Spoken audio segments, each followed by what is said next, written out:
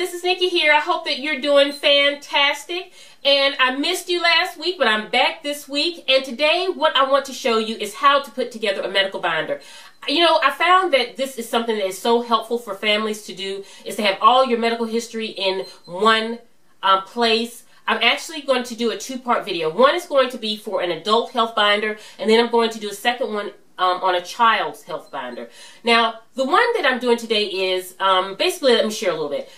In my family right now, I have several individuals that are going through some serious medical conditions, and you know, they're having to get a lot of treatments done. Um, they're having to uh, constantly go to the hospital and, you know, just all kinds of things. And they're having all of this medical information. And if any of you have battled cancer or battled heart disease or anything like that, you know what I'm talking about. And there's so many, you know, not only those, there's so many um, people out there that are struggling with some medical, serious, serious medical issues, and they know about all those tests that you have to get done, and all those, you know, constant hospital visits, and the struggles that go along with dealing with that. And so, you know, a lot of times as that family member that is not the one that has the illness but is in a supportive role, sometimes you don't know what to do, especially if you don't live in the same area and you're not able to take them to appointments or, you know, you just don't know, you know, you want to help or you want to be there for them and you're just trying to figure out how you can be there for them. Well, one of the things that you can do is put together a medical binder or a medical file for them. And I'm, i said binder, but it's really a more of accordion file setup, and I'll show you. But this, giving them this will take such a load off of them and keep their things in order so that when they go to their doctors, because they may have 10 different doctors, they can know where they're at with their treatments. They have everything on hand. They're, they're, they are able to show and explain to their doctors what they've had done and what other doctors have diagnosed and completed. And it's just a, a great tool to be able to give a loved one that is going through a tough time. You know, a lot of times we'll send flowers or candies or cards, and those things are beautiful too. But to sit down and put together this for them, I think is really something that you, a useful tool that you really, really can give someone when they're going through a difficult time. So um, I've just recently set up one for a family member that I have that's going through a real tough time um, because she has accumulated so many papers and things like that. And I wanted to get her a system to where when she goes to appointments, she can just put it in there. But she had everything she needed um, to help her through this journey. And so, um, if you see the video and you have any questions, please let me know. You can leave them in the comments below or send me a personal message. I hope that you find this helpful. If you see anything that I did not put into my health binder that you think might be beneficial, please let me know because that's how we learn from each other because we all go on through different paths and different roads and we have so many things that we can share. So please don't hesitate to share. So today we're only going to show, um, share and, and experience the adult health binder. And then the children's one I'm going to do in a second video because I thought it was just too much to put into one video. But the second one, it will be on how uh, to set up a one for your child from birth, you know, actually from pregnancy. And I think that this is so important. I learned the hard way because I didn't do this with my son. You know, I had a baby book, but I didn't have a specific health binder that when he turned 18, I could give him and say, hey, this is your health history as a child. So that when he um, goes through life, if something comes up, he has it there. If he joins the military, he has all his stuff there. And so it really would have been helpful for us to have had that all in one place. And so that's why I'm happy to do this now for you young mothers out there to go ahead and set this up now so that this could be a grand gift that you give your child when they turn 18 because, you know, to give them their health history is just wonderful gift to be able to give them all of that information um, to hold and to keep. So let me jump right into it. I hope you find it helpful and I hope you will enjoy. And this is Nikki saying goodbye. Okay, so um, I know I was saying health binder a couple times throughout there, but what I actually went with was the accordion file, which I got from Staples for about seven or eight dollars. You know, I wanted something that was a little fun because you know I wanted to kind of cheer them up, you know, and just have something fun, not so drab. And I didn't want a binder because I didn't want them to have to worry about three hole punching paperwork to put in the binder or about getting sleeves for the binder or anything like that. They can just simply put the paperwork in there and go. It's a nice size to carry for appointments and things like that. So that's what I went with. Along with on the inside here, I used a heavy duty two-sided tape to put this down in here for the business cards for her doctors. And that way she can have them right there, easily accessible in the front of the accordion file so that when she's um, trying to make appointments or do different things, she has them there. And also, she um, the last time uh, we spoke, she had told us about a little cross that someone had give her that she holds kind of when she goes through her treatments and things like that. And so I thought it would be so nice to have a cross that was from my husband and I. So I put that cross in there so that can be her little holding cross when she's going through difficult times and difficult treatments and things like that, and to give her a piece of um, of us uh, to have with her and to let her know that we love her. And so here you would put again the business cards for her doctors and it's the martha stewart kind of um, business cards holders you can get from um, staples and i can't remember how much they cost a couple dollars maybe maybe three four dollars for a pack um, but i just used one of them and so that's what i have in the front so very convenient now let's go into the um, accordion file so I can tell you tell you what I did with the different sections. And to start is with medications. This is where you put all their med. They can put all their medications, a list of their medications in there, of, of what they're taking. Um, also, they can put any prescriptions that they get from the doctor when he hands them to them. They can just put in that part of the organizer.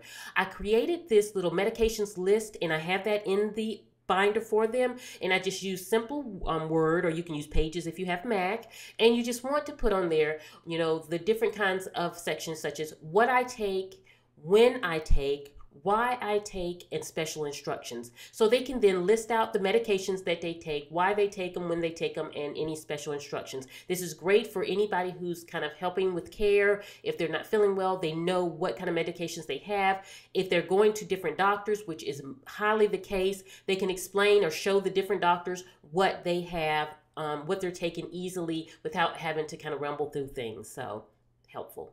The next one is schedules. Now, in this section is where they're going to keep their calendar. And you can purchase a calendar and just put like a thin calendar in there for them. I chose to make it, and I used Word again. Um, from the computer and I just printed out the calendar because I wanted it to be more personalized and special. I printed a month, a year's calendar, and this is for writing doctor's appointments, when tests were done, and to always have a place to know when that person took a certain test or when they um, have appointments coming up because a lot of times when you're talking on the phone you're like well when's your next appointment? They can easily tell you when the next appointment is and that kind of thing. I wanted to be able to put inspirational quotes on the calendars along with some pictures of um, my husband and i and our family to kind of um, let them know that we love them and we're there for them.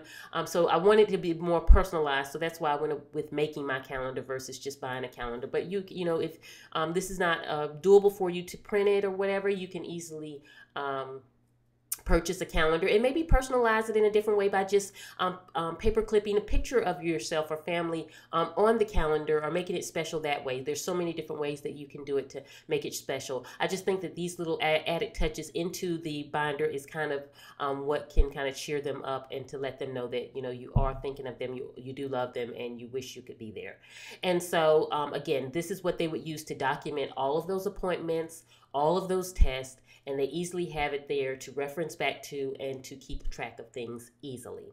So let's move on to the next section, which would be the disc.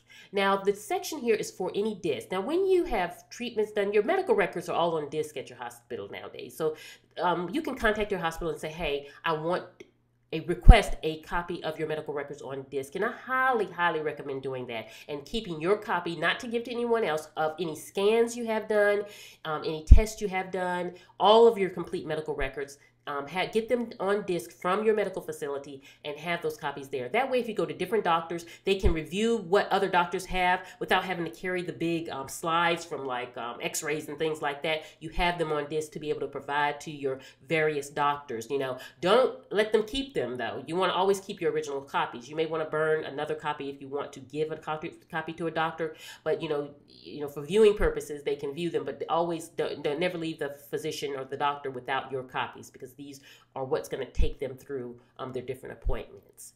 So let's go to the different section here of test results. And in this is simply going to be when they get those test results they're going to put them in this section here and slide it in there. So whenever they're at the doc- doctors, just encouraging, you know, whenever they give you test results, just be sure to get a copy of it so that you can put it in your test results section. That way they can easily refer back to them. They can, when they go to their different doctors, they can say, hey, well, this doctor already did this test. Here are the results from that. And it just makes it um, an easier transition for them when they're going through all these different facilities and doctors and things like that to be able to show what they already had done and kind of help the doctor, the new doctor or the, you know, secondary doctor along with their progress. Now, the next section here is medical history.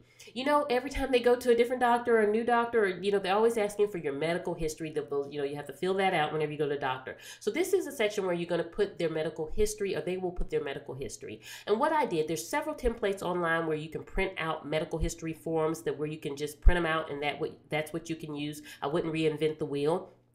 And so I that's what I did.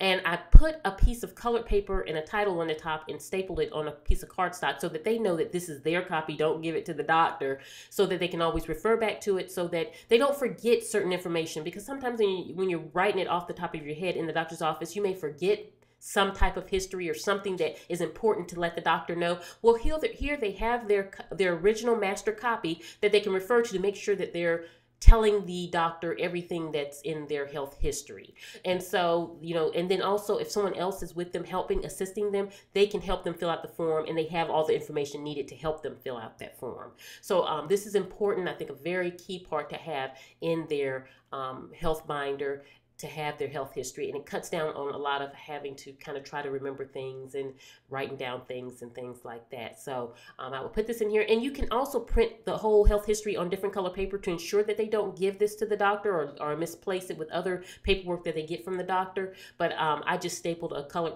you know piece on top because I didn't realize to think to do that when I was printing it. And instead of reprinting it I just you know put a colored paper on top so that um, to let her know that this is her master copy, not to give this to uh, the doctor, you know, not to release that.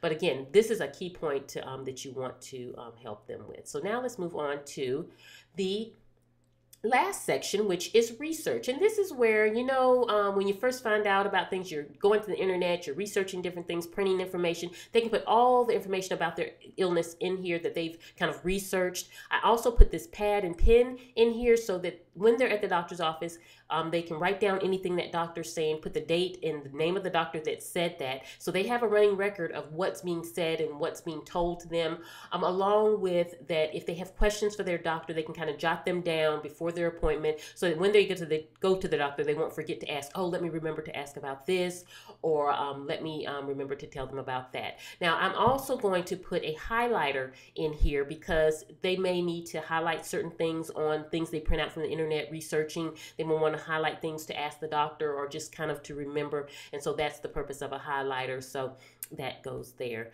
And so this is the health history um, kind of accordion file that I set up, and it's a great gift to give to a loved one that is about to embark or is currently embarking on a challenging health journey.